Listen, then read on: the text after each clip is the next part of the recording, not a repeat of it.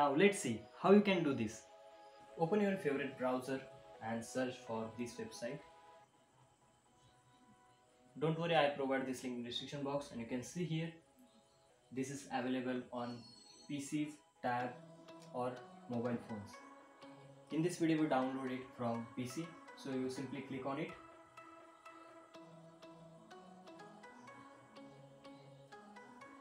and you can see here this screensaver available for Mac and Windows. If you download it for Mac so you simply click on here but if you want to download it for Windows so you simply click on download button here and you can see here the zip file are downloaded successfully.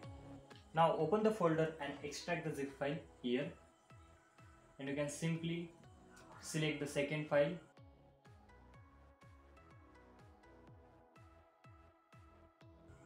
right click on it and click on cut.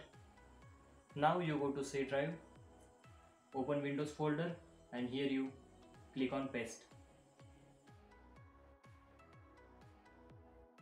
Click on continue.